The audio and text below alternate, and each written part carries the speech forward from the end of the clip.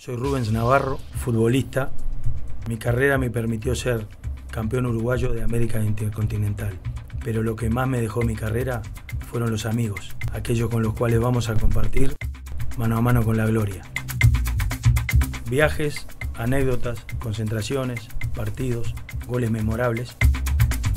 Y vamos a terminar con un abrazo de gol.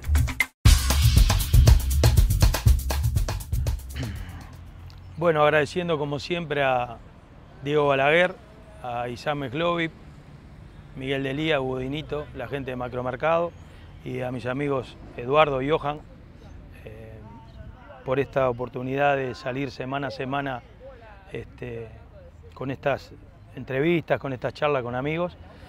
Eh, hoy nos trasladamos al barrio de Malvin, de donde es eh, oriundo nuestro invitado de hoy, eh, con una vasta trayectoria eh, a nivel nacional e internacional, múltiple campeón con, Peñarol, con selecciones uruguayas. Y bueno, elegimos este barrio porque lo eligió él, el invitado de hoy. Eh, a partir de este momento vamos a tener una charla con alguien que nació en septiembre del 59. Fernando Alves. Bienvenido, Fernando. Gusto verte. No, el gusto es mío, este, tantos años. Este, sí, elegí Malvin porque es el barrio donde nací, me crié, a pesar de que a los tres años este, era la, casa de mis abuelos, acá a tres cuadras del Club Malvin. Este, nos mudamos para Carrasco con, mis padres, mi hermana recién nacida cuando nació mi, hermana, pero vivíamos allá, pero pasábamos el tiempo acá en Malvin. y el club de, toda la vida, soy socio desde que nací del Club.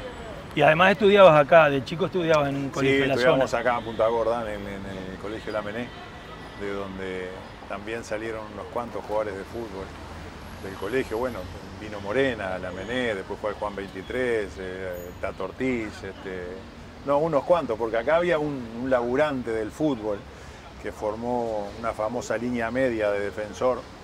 Eh, el coracero Carlos Chagas, ya que es una famosa línea media que tuvo defensor allá por la década de 40 de Jun y Chagas, que fue muy famosa, fue un jugador de selección, este, por, determinados problemas, era, era titular de la selección a fines de los 40, después se tuvo que ir para Venezuela y por eso no estuvo en, el 50 acá.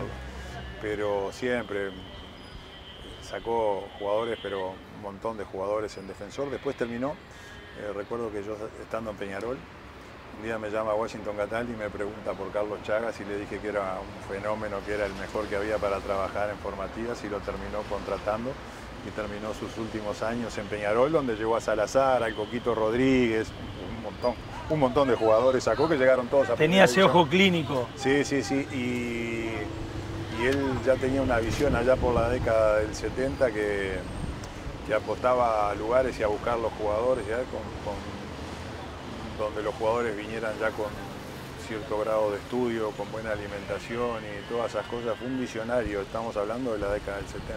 Sí, 40 años atrás. La verdad que sí.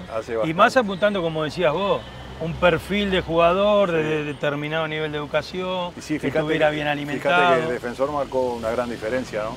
Desde hace muchos años en ese sentido, una pota que después agarró y que la perfeccionó del punto, de todo punto de vista el profesor Santos. Este, y bueno, está. Ya tiene más de 20 años toda esa escuela. Uh, mucho más, sí, sí. Y bueno, y marcaron, marcaron, hicieron diferencia con eso.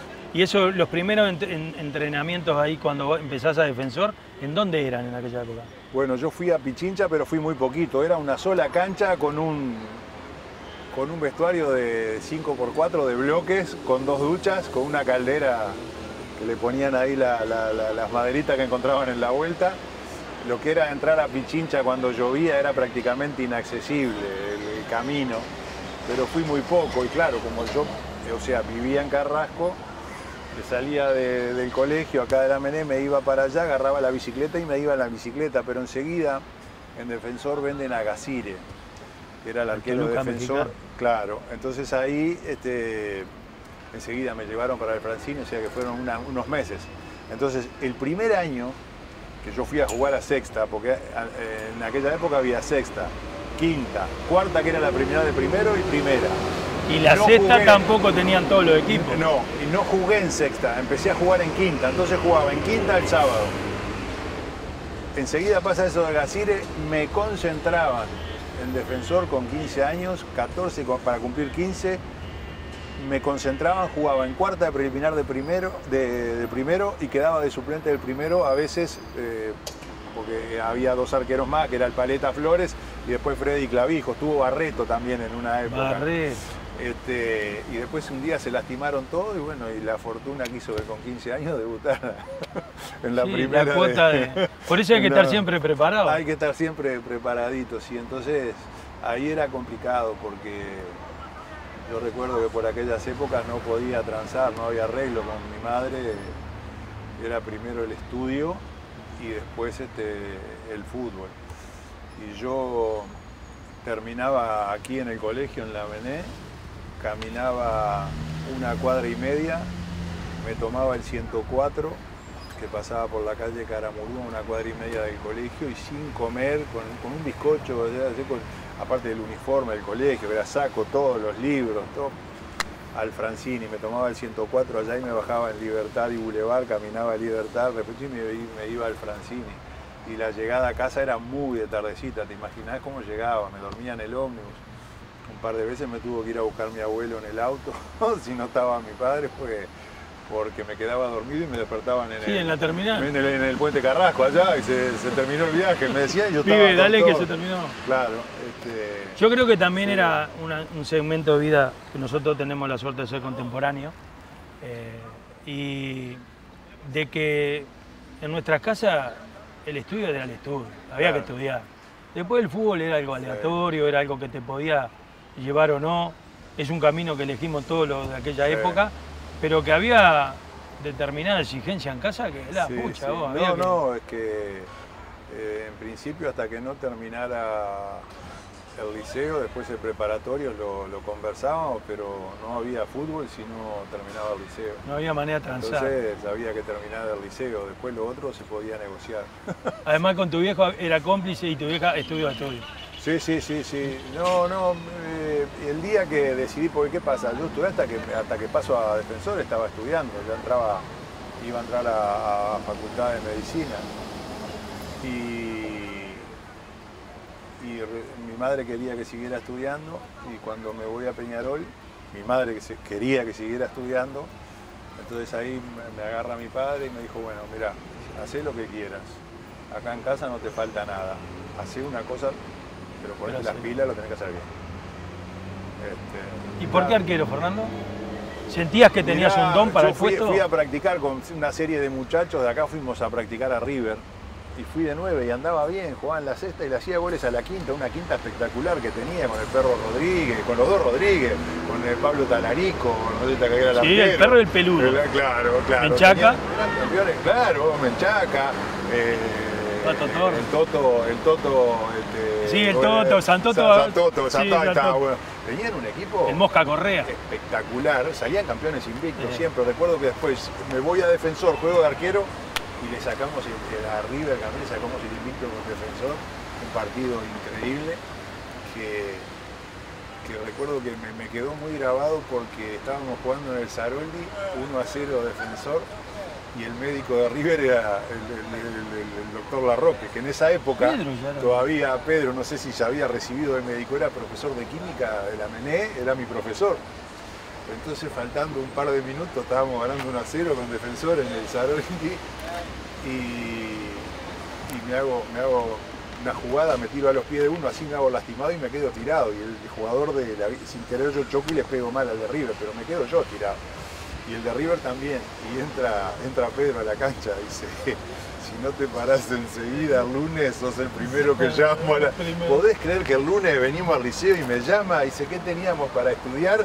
Y le dije, yo pensando en eso el domingo agarré un libro y miré más o menos y le digo tal cosa, no, era y me, me, cambió, me la cambió, se divirtió conmigo cinco minutos, me mandó a sentar ahí, después no pasó nada, obviamente, pero y después con Pedro un fenómeno, la verdad que Pedro la que después, te imaginás los años de que compartimos con la selección mayor. Aún no, y sigue. Pero eso, fíjate que te estoy hablando mediados de la década del 70. Sí. Y, y- y después en el 90 era el médico de la selección, que a mí me operan en Alemania antes del Mundial, y Pedro en la sala de operaciones, todo, o sea, fueron Qué historia. pero ¿eh? no, la historia, las historias son increíbles, cómo se juntan las cosas y en el fútbol, pero, pero, o sea, cuando yo a veces repaso la historia del fútbol, este, eh, siento una satisfacción muy grande. Si, si volvieran a hacer, volvería a hacer lo mismo y elegiría lo mismo. Ahora, yo creo que amén de lo que traemos sanguíneo para jugar al fútbol, está la cuota esa de, de preparación, lo que hablabas vos hoy. Este, te tiraron en primera crudito, digamos, era un pibe. Sí, tenía 15 años y demás, y cuando veía algunas jugadas, los trancanazos que se daban, jugadores era. Las canchas aparte ayudaban porque no estaban tan bien a que hubiera más fricción, que las pelotas picaban más, que un jugador te llegaba hasta bueno, mira, El partido en y todo. yo, y yo, y yo estaba, por más que tuviera las condiciones técnicas y todo eso, yo sentía que me faltaba, que no, me faltaba, yo sentía que eran más hombres que yo, los tipos, bueno está, y son, es una cosa que la sentís ahí al principio, la condición técnica te lleva a, a algunas carencias que podés tener, las vas disimulando hasta que después, viste, ya, claro, poquitos años, el tema de la selección juvenil fue muy importante para mí, porque no sentí el cambio de la parte de mayores, a pesar de haber debutado, como ya te digo, con 15 años en primera. Tuviste además la particularidad de muy pocos acá, de ser bicampeón juvenil sudamericano, o sea, en, dos, eh, en dos selecciones diferentes, o sea, de No, edades diferentes, eh, eh, porque eh, fuiste joven para la primera, la Era el más chico, 77. era el más chico, Era el más chico. era el más chico, pero hay dos, hay dos casos más. Churrasco el otro. Rivero, Y el Tito, el Tito que estuvo de suplente en una que el capitán era el Tato Ortiz, que 75. jugaba Milton Martín, el Tato Ortiz, el Chueco Bartolota, creo que... Creo que- Sí, esa. Carrasco, Rebeca, Tenían, no, tenían un cuadro, está, tenían un cuadro espectacular, Morales. pero yo repito, 77 y 79. Repetimos dos, Rubén Paz y yo. Pero Rubén es un mes más viejo que yo, viejito. es un mes más grande. Rubén es de Rubén es del 9 de agosto y yo soy del 4 de septiembre. Así que es un mes más viejo.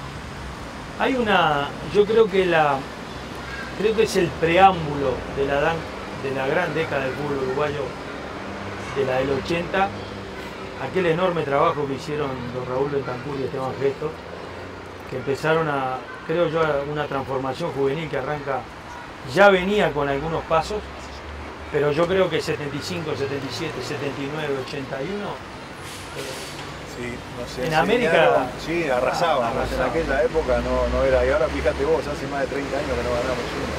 Desde el 81. Eh, pero yo creo que fueron fundamentales. Primero que nada porque ahí uno aprendió y forjó el espíritu del sacrificio, porque eran crudas las pretemporadas, los entrenamientos, era otra época.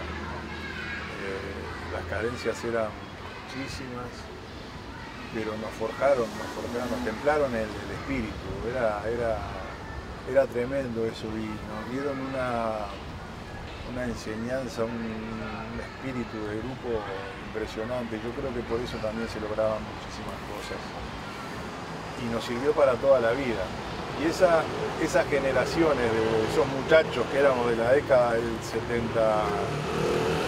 fines de los 70, yo creo que de los últimos 35, 40 años forjaron la década que para mí es la mejor década de- del fútbol uruguayo en los últimos, ya te digo, 35, 40 años, porque en la década del 80 que arranca con el Mundialito,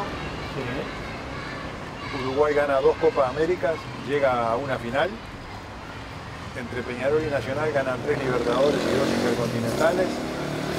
Este, Peñarol y Nacional permanentemente siendo invitados a jugar los torneos Carranza, Teresa Herrera, recorridas. eh, eh, nosotros, yo recuerdo hacer dos giras por año a Europa, invitados a todos lados, y no nos invitan. ¿tá? Hoy creo que Sí, los partidos que hoy salen, digamos, Claro, a nivel claro, no, claro. Hoy, hoy tenemos eh, dos fútbol uruguayo. Uno que es la, selección, que es una isla dentro de lo que es el fútbol de cabotaje, por llamarlo de alguna manera, que es el fútbol, que es el fútbol nuestro, porque aparte va de la mano incluso lo de Peñarol y de Nacional, desde el 87, desde el 88, que Peñarol y Nacional tampoco ganan un título importante. Sí, sin lugar a dudas. Entonces, eh, todo tiene, tiene un, motivo y una, y una, razón de ser, claro, no, no todo, claro, no es, no es este, no es este ni suerte ni nada que se le parezca, todo tiene una causa. Y, bueno, está, yo creo que, que pasa mucho por eso, ¿no? Fernando, estuviste 12 años en Peñarol. Eh, ¿Me vas a contar después de la pausa? Yo saqué 12, capaz que tuviste un añito más. 15, jugué porque fui y vine varias veces. Pero no, porque los tengo, porque ¿qué pasa? No, pará, pará, porque si no, no vamos a hacer la pausa. Verdad, verdad, verdad. vamos a la pausa y después me seguís contando, me da toda la explicación. Ya venimos.